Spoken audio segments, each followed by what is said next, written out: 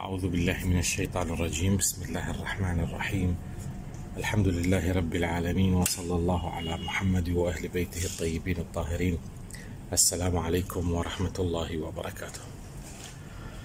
بالحقيقة كان من المقرر إنهاء الموسم في نهاية الشهر السادس.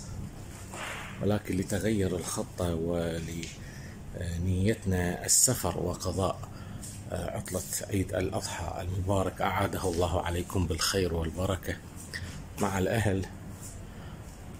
وهذا يعني أن نترك المزرعة المائية فوق سطح المنزل لمدة عشرة أيام تقريبا.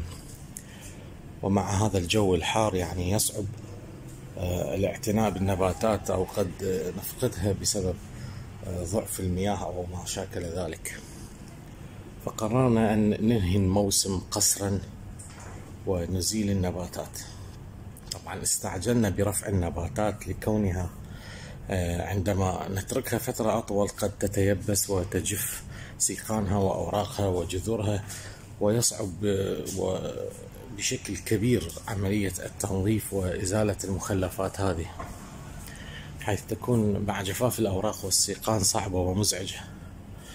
لذلك قررنا أن ننظفها وهي ما زالت خضراء ونتخلص منها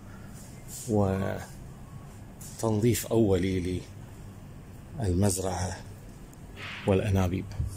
والاستفادة من هذه الأيام الحارة بعملية التعقيم الطبيعي حيث أن عند غلق المنافذ وإغلاق الساحبات ومفرغات الهواء والتبريد وسوف ترتفع درجة الحرارة في داخل المحمية إلى أكثر من خمسين درجة مئوية. وهذه تعتبر آه، درجة خلال المدة الطويلة لمدة شهر أو أكثر. عملية تعقيم طبيعية آه، لما موجود من مسببات مرضية أو آه، يرقات وبيوض لبعض الحشرات إن وجدت.